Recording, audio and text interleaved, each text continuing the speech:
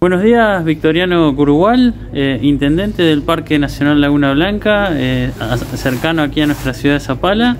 Y bueno, eh, hace poco que está en este cargo nos comentaba que viene de Bariloche, Victoriano, ¿es así? Hola, buen día. sí, en principio estoy desde el mes de diciembre a cargo como intendente del Parque Nacional Laguna Blanca. Trabajo en Parque Nacional hace más de 30 años y bueno, yo soy de Bariloche, y a partir bueno, de, esta gestión me invitan a, ayudarlos en la conducción del Parque Laguna Blanca, así que estamos trabajando desde diciembre eh, tratando de, ver las actividades que podemos desarrollar en todo el marco, desde la conservación, el turismo, eh, bueno, visitante, eh, mejoras en el Parque Nacional, Así que bueno, trabajando en conjunto con eh, las instituciones este, de la ciudad de Zapala, básicamente, porque somos muy vecinos, más allá de los 30 kilómetros que nos separan de Zapala, eh, estamos cerca. Y bueno, la mayoría de los empleados que eh, el Parque Nacional tiene son de Zapala, un, gran porcentaje son de Zapala o algunos pobladores de, de las comunidades vecinas.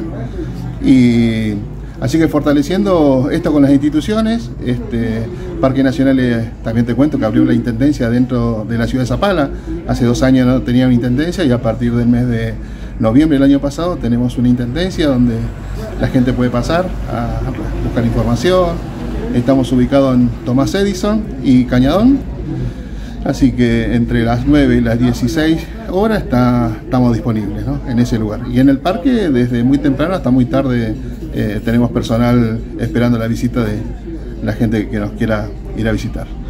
Importante este dato de que tienen eh, una sede acá, un edificio donde la gente se pueda acercar, porque a veces muchos tal vez no se pueden desplazar hasta el parque y tienen alguna duda. Era, era complejo ir eh, en su momento, bueno, hubo una decisión de llevarlo al, al Parque Nacional, la Intendencia, y, y a mano, digamos, 30 kilómetros para presentar una nota o, o, para hacer una consulta era este, medio complejo, así que desde hace poco estamos instalados en Zapala.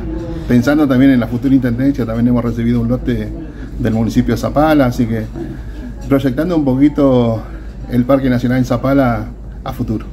Bueno, Victoriano, ¿su periodo hasta cuándo se extiende al frente del parque? Y, en principio yo vengo, este, todos sabemos de que hay eh, decisiones y cambios de gestión en algún momento, así que esperando qué sucede este, en estas elecciones, básicamente, pero en principio yo soy empleado de parques nacionales y no estoy acá en Zapala, estaré en otro parque nacional.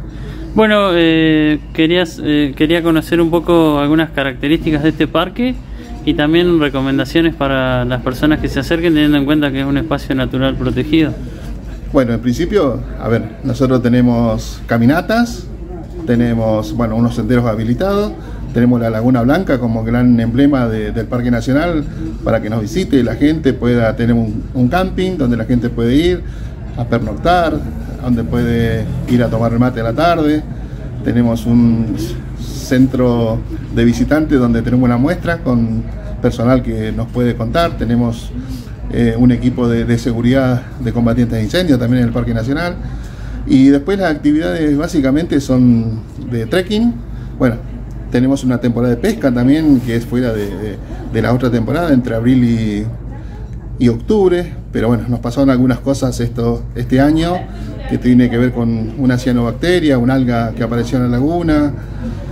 Eso hizo de que se infectaran los peces que, están, que tenemos en la laguna. Eso hizo que suspendamos la pesca por una cuestión de riesgo de, de enfermedades hacia, hacia los humanos. Pero bueno, estamos trabajando en que hoy por hoy, los últimos análisis que tuvimos, eh, ya nos dieron que no hay más este, cianobacteria, que no está contaminada la laguna, pero la recomendación es no consumir el pez. Así que seguimos este, restringiendo la pesca. Lamentablemente creo que este año ya está finalizado porque nos queda el mes de octubre. Y bueno, pensando en la, apertura del parque, ¿no? pensando este, en otras actividades que tienen que ver con más caminatas dentro del Parque Nacional, eh, gran parte de, la gente conoce el Cerro Mellizo, pero bueno, hay 8, 9 lagunas más dentro del Parque Nacional hacia el norte que estamos queriendo trabajar en conjunto con, bueno, con turismo de, la ciudad de Zapala, a ver si podemos incorporar esas actividades en, el corto plazo.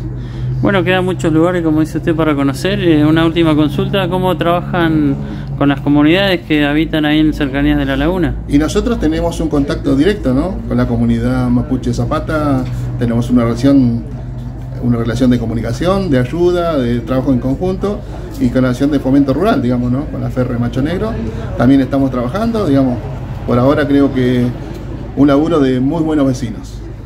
Bueno, Victoriano, gracias por toda esta información. Eh, no habíamos tenido su palabra desde que asumió en la Intendencia, así que eh, le deseamos todos los éxitos en los objetivos que se propongan para conducir la Intendencia en este parque. Bueno, yo te agradezco mucho, la Intendencia está disponible, bienvenido a toda la gente que nos quiere ir a visitar al Parque Nacional y bueno, muchas gracias.